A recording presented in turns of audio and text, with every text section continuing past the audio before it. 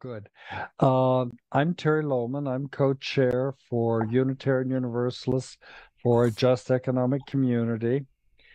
Uh, we have two reasons to want to support peace. One, of course, is the humanitarian reasons, but we also are involved with the environment. And the military is a major polluter and a major reason for climate change particularly in our country where it's something like 10% of the carbon footprint is um, caused by the military. And that's just a guess because the military doesn't pass any audits financially or environmentally or anything. So we we can only guess what it is. Uh, our guest speaker tonight is Curtis Bell, and I'd love to have him explain um, where you know he's part of this UUs for peace in the Middle East. Um, I hope he can explain what what their vision is and and uh, how it's important to UUs. Mm-hmm. And it's nice to see a nice number of people here, coming up on 30 people or so. And uh, so we can get some comments because my real goal here is to engage UUs on this issue and uh, move us towards uh, concern for it and concern for the larger issue of U.S. wars and uh, U.S. Uh, imperialism.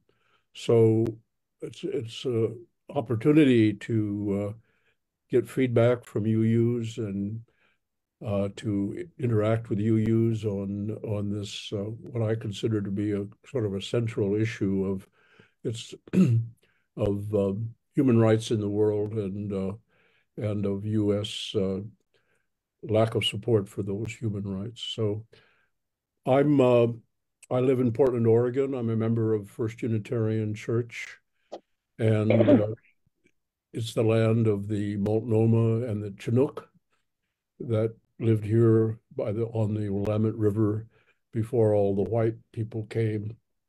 Um, it's a real pleasure to be here, and thanks uh, thanks for having me. I really appreciate it. Maybe I'll begin with a little discussion of myself. I was born in Bahrain, and I went to high school in Beirut, Lebanon, and that was in the early 50s. It was only a few years, maybe four years after 750,000 uh, Palestinians had been uh, forced out of Israel proper and to occupy camps in Jordan, Syria, and Lebanon. And there were many camps right around Beirut. I saw those camps, I visited them. And uh, to my young mind, uh, all these people living in tents at that time uh, seemed like a great wrong. Now most of the camps are solid buildings, but still they're rather slum-like and uh, massive unemployment and difficulties of all kinds for the Palestinians living in these camps. And uh, uh, so I was rather imprinted on the Palestinian side of this issue, but I didn't become really active uh, in the struggle for Palestinian rights until uh, 2008 or so when Operation Cast Lead occurred and uh, uh, 1,500 to 2,000 Palestinians were killed in the bombing by, by Israel. Um, and at that time, I began trying to move our church in Portland towards engagement on the issue. And I organized talks and luncheons uh, uh, after church. Uh, like uh, one of them, for example, was taking the fear out of talking about Palestine, Israel, there's a lot of fear in the UU world about uh, talking about this issue. So that uh, that that uh, was an important topic. Uh, I joined UUJME uh, and went on a, a, delegation in 2011 to Palestine, Israel, about a 12-day delegation, and I led a delegation in 2015 to Palestine, Israel and I became the president of uh, UUJME, and I did that for about six years up until the, the end of last year. And then finally, another connection with Palestine was that uh, I uh, spent uh, the fall of 2019 three months in Hebron with the Christian, it's now called the Community Peacemaker Team there that works to tell people what's happening in the West Bank and to do what they can to uh, uh, protect people uh, who are uh, threatened. So I would say for those who are new to this issue, I think that UUJME is a good place for UUs to get involved. We've been a UU-related organization actually since 1971. And it, uh, in those early years, it was very difficult to speak up for Palestinian human rights without being immediately seen as uh, strident, as uh, rather uh, unwanted, as uh, as uh, and in fact perhaps anti-Semitic. So I think that's changed. I think people realize that criticism of what Israel is doing to the Palestinians is really not anti-Semitic. Um, uh, we work for the security of all people in Palestine and Israel. In practice, that means we work for Palestinians because the Palestinians are the people who are now and have been for decades oppressed by the Israeli system. We have about 26 chapters around the country, a newsletter, and a website, uujme.org, with all manner of resources. We encourage new members and we encourage the formation of new chapters. So uh, I, to get into the specifics, I, I completely condemn the killing and hostage taking of civilians by Hamas on October 7 and the apparent uh, brutality of many of those attackers. Uh, it is true that the right of an occupied, oppressed people to respond, even with violence, is enshrined in the UN Charter. And I wish that Hamas had limited its killing and hostage taking to Israeli soldiers and not involved the killing of so many civilians. But they didn't, and that is really quite too bad. Um, but one war crime doesn't excuse another. And the continuing Israeli bombing and blockade is very, very far from proportionate or targeted or uh, humane. I won't dwell on the horror being visited upon the people of Gaza very much at this moment. Uh, all of you who are listening, you're here because you're interested in this issue, because you read a lot about it and you know a lot about it already. Um, so up, up till now, I've been rather reluctant to use the term genocide to describe Israeli oppression of Palestinians. But that word now seems appropriate and is used more and more, in fact, by some Israelis. Uh, and so I think it is appropriate. But even if you're not comfortable with using that word, I think you might be able to support the need for action to prevent uh, prevent a genocide from from occurring. But what else but a genocide can one call the the medieval cutting off of food, water, medicine, and fuel, electricity, uh, really like a siege, a medieval siege, to a walled population of over 2 million people. What else can one call the bombing of apartment houses and homes with people in them with no warning? The bombing of hospitals, schools, mosques, clinics, killing of over 18,000 people. It's probably more than that because the numbers of people who are buried in the rubble haven't been counted, and we don't know how many thousand that might be. So surely the final count will be well over 20,000 people in just two months. The wounding of 40,000 people, the destruction of half the housing units in, in Gaza, creation of 2 million displaced people, um, with not an insured safe place to be, the likelihood of starvation and infectious diseases in the absence of food, sanitation, and water is beginning to take its toll also. It's not quite like throwing a smallpox victim over the wall, but it's not too far from that. It seems that uh, to me and many that Israel wants to force the people of Gaza out of Gaza. Uh, Israeli intelligence has in fact proposed uh, a plan to do that, to move them into camps in the Sinai desert. President Sisi of Egypt has said he wouldn't permit that, but uh, he's desperate for loan forgiveness and for money, and he might well be bribed into doing that. The international community, in quotes, because usually by that is meant uh, the US and Western Europe, might wring their hands, but would probably allow it to happen, allow the exodus of all of the people from Gaza into the Sinai to happen, uh, just as they allowed the first Nakba of 48 to happen and all the impressions since to continue. The alternative, Israel occupying a shattered Gaza militarily with 2 million angry, resentful people who now increasingly support Hamas, would seem a most unappealing prospect for Israel. Uh, General Austin, uh, head of the U.S. Joint Chiefs of Staff, called the Israeli ground invasion of Gaza a tactical success, but a strategic mistake, and that may turn out to be true. The worldwide response to Israeli violence uh, in Gaza against the Palestinians has really been remarkable, really astounding. Uh, the recognition and the uh, uh, of the human rights of Palestinians and the struggle for those rights has never been stronger in all the six decades or so, seven decades since 1948. And uh, continuing demonstrations around the world, hundreds of thousands of participants in England, Germany, Spain, Pakistan, Turkey, Indonesia, Latin America, Ambassadors from many countries have been recalled, and direct actions of all kinds have resulted in thousands of arrests. The parliaments of Algeria and Yemen have given permission to their executives to declare war on Israel. Calls for a ceasefire have come from churches, unions, United Nations, humanitarian organizations. I think the calls by the United Auto Workers and by teachers' unions for ceasefires are especially noteworthy as they are major supporters of the Democratic Party. Consequences for the election next year.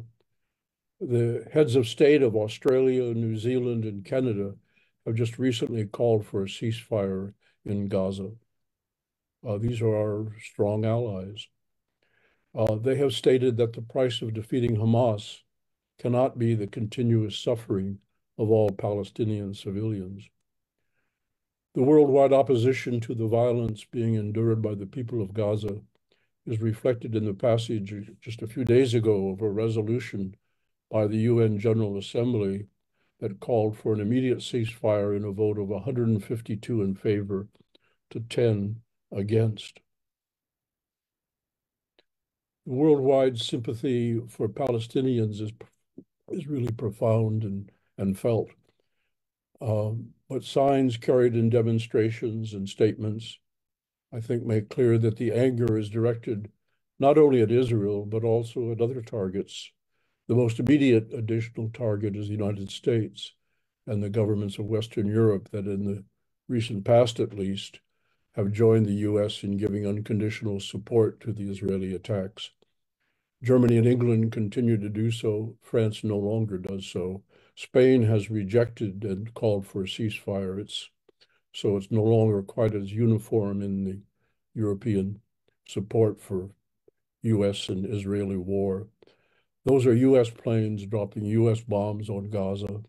It's the use of the U.S. veto in the Security Council and U.S. intimidation of the International Criminal Court that prevents the world's people, what I would call the real international community, from stopping that horror in Gaza. The Center for Constitutional Rights here in the U.S. has in fact filed a lawsuit against U.S. officials for their complicity in the crime of genocide. This is not only an Israeli war on the Palestinians, but a U.S. war on them also, and the world now knows that. The major reason for U.S. support for Israel is probably geostrategic control of the Middle East with its oil and with all the major trade routes going through the region is viewed as essential for U.S. domination and imperialism that is mediated both militarily and through U.S. control of the world's financial system. Russia, China, and resistant re regimes such as Iran must not be allowed to stay in the Middle East. Biden in the 1980s, in calling himself a Zionist, said that if Israel didn't exist, we'd have to create it.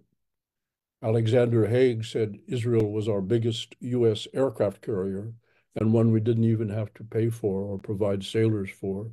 So the linkage between the U.S. military and the Israeli military is very deep and very strong. The U.S. and the people of the U.S. have paid a large price for those decades of unconditional support for Israel and will pay a still larger price for the continuation of this support in the current Israeli siege and war on Gaza. The chickens are rather coming home to roost for all those decades of support. One can easily specify some of the costs of current U.S. support.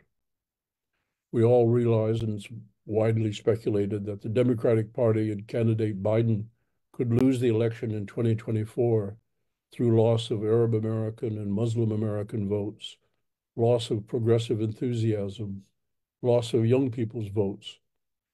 Polls show that only about 10% of Americans between the ages of 18 and 35 support Biden's Israeli policy. We're all afraid that Trump might actually win.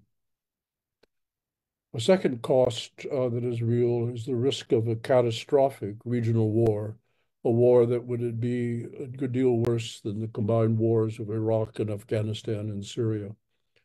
Um, I that seems to be sort of faded into the background recently, but I listened to Trita Parsi this morning being interviewed by Peter Beinart about the danger of a regional war. Uh, you may know Trita Parsi as one of the leaders of the Quincy Institute and an Armenian, uh, Iranian uh, writer and thinker who is often in the news and uh, quite a excellent commentator, I think, very, very knowledgeable. He just came back from Doha, spoke where he spoke on a, at a conference about Palestine. So I have a lot of respect for his opinion, and he is actually much more worried now about a regional war than he was a month or two ago when, right after October 7, he uh, believes that uh, Israel senses that a time is right to not only neutralize Hamas, but also neutralize Hezbollah. Hezbollah being a much more serious enemy for Israel than Hamas. As you may know, Hezbollah uh, is heavily has hundreds of thousands of rockets, and many of them with uh, direct uh, targeting ability uh, that could reach anywhere in Israel. Uh, it has a battle-hardened army of tens of thousands of men uh, and uh, it is a, could be a real uh, threat to to Israel. but he feels that Israel might feel that it's the time is right now to uh, try to neutralize another enemy also. And uh, this is very concerning. Neither Hezbollah nor Iran want a war. Hezbollah's the war in 19, um, uh, 2006 in Lebanon was very, very damaging. Bridges were blown up by Israel all over Lebanon. There was much, much damage. Hezbollah would not go lightly into a war, which we know would come with much damage to Lebanon. But if they feel like Israel is about to attack, they might feel necessary to begin the war uh, if it's going to come uh, regardless. So that's a larger concern than I had thought about before hearing from Trita Parsi. A third important cost is the loss of U.S. soft power, diplomatic power, in negotiating with uh, other countries and in trade agreements and so forth. The Arab world and much of the global south clearly recognize U.S. hypocrisy. Hypocrisy is seen in U.S. support for immediate censuring of Russia for its invasion of the Ukraine by the UN Security Council and the International Criminal Court, and the complete lack of such support for censuring Israel for similar crimes decade after decade. The US won't be welcome uh, diplomatically, and its so-called international rule-based order, which it has pushed as an as an alternative to existing international law, will have little or, or no respect. So this loss of soft power, respect for the U.S., I think, is one of the costs that is being paid by this worldwide opposition to what's going on uh, by the U.S. and Israeli war on Gaza. A fourth cost is what's happening here at home. We all are aware of an increase in Islamophobia and anti-Semitism in the U.S., as well as the McCarthy-like attacks on free speech and freedom of assembly in the U.S. I believe that the energy behind the worldwide protests goes even deeper than antagonism to Israel for its war on the people of Gaza and the antagonism against the U.S. for its complicity in that war. Although those are the immediate foci of the protests, one senses that people of the world, many of whom have only recently extricated themselves from colonialism, are fed up with colonialism, with militarism, and with a world economic system dominated by the interests of the US and Western Europe. They're calling for a multipolar, they want and call for a multipolar world, a world without endless wars, and a world with respect for the human rights of all people. I think that's a world we all want, a world in which the truly existential issues of climate change, nuclear war, and inequality, for example, are confronted with the seriousness that they really require and in which the world's resources of money and attention aren't wasted on geostrategic imperialist antagonisms and wars. I would suppose that most of you also want such a world and want the continuing humanitarian horror in Gaza to stop. It behooves us then to ask how we can take advantage of the current worldwide activism to end Israeli violence, end U.S. complicity in that violence, and move us toward a world we desperately need and want. A partial answer to this question of how we can take advantage of the worldwide increase in activism is that our actions must not stop, must be broad-based, and must be multi-pronged. First, the actions, the sit-ins, the protests must not stop. They can't be just temporary. They must continue. We can't just go home from the protests and allow the politicians to continue uh, ignoring us. In the words of Tom Paine, this is no time for sunshine citizens or summer patriots. Uh, second, we must create a broadly based movement by persuading all manner of civil society groups, healthcare workers, unions, educators, professional organizations, religious groups, where their true interests lie. Finally, all manner of nonviolent action should be pursued, including demonstrations, boycotts, divestments, sit-ins, sanctions, and congressional advocacy. We don't know what finally will make a difference, but economic pressure does seem especially important, as that was what persuaded South Africa to end apartheid, for example. I know I'm speaking to UUs for a just economic community, and economics is certainly a major front in this struggle. I'll close by speaking a little bit about how Unitarian Universalism fits into all this. I think most of us here are Unitarians.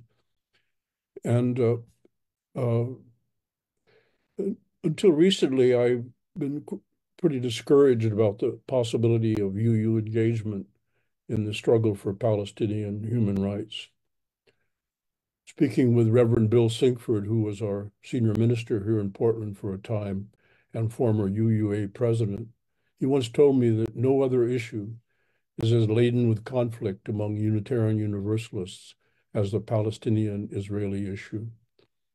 And neither ministers nor congregations like conflict.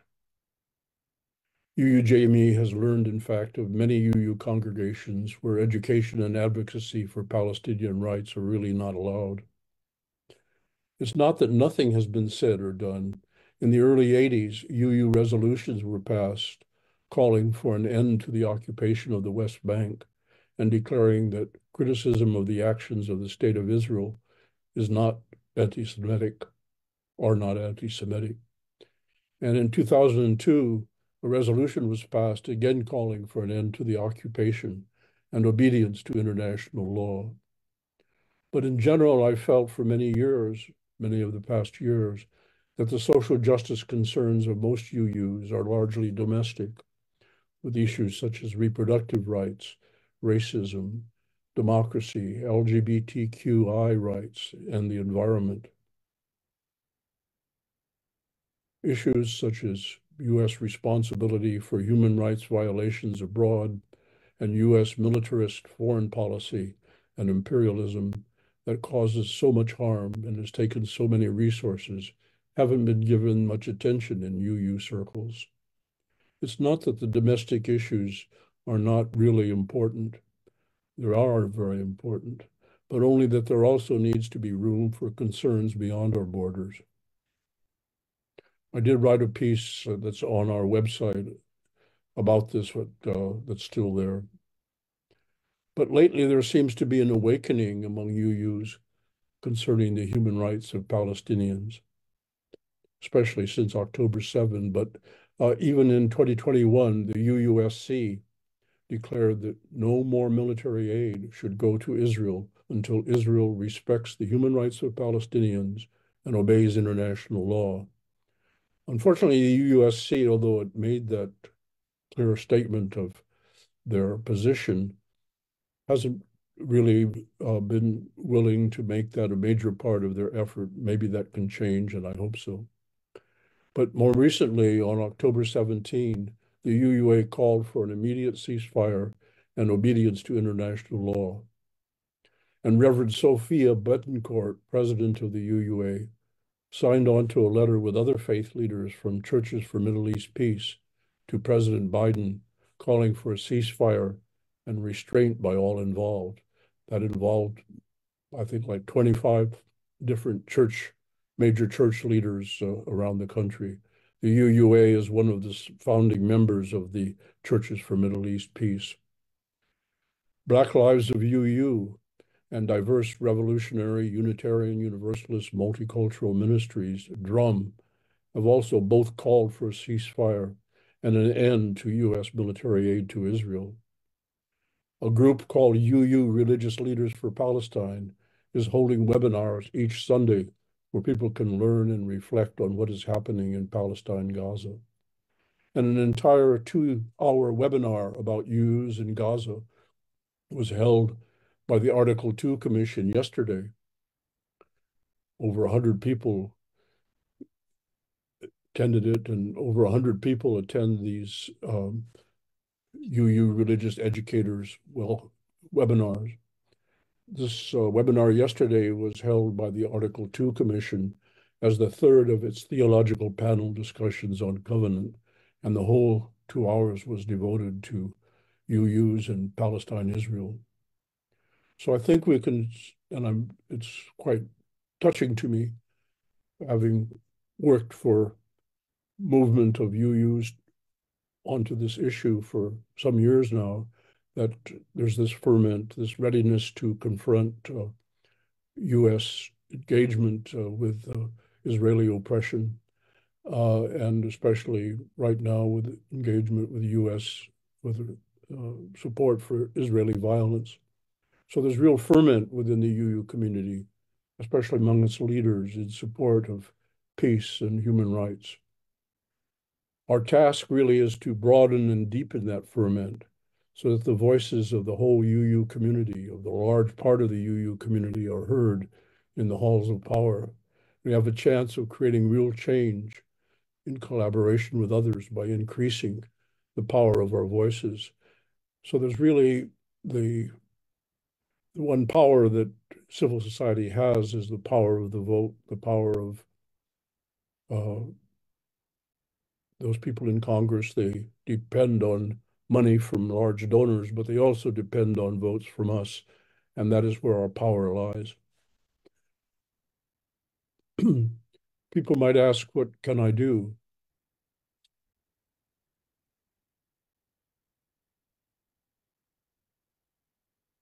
As an individual, not much, but in association with others, a great deal.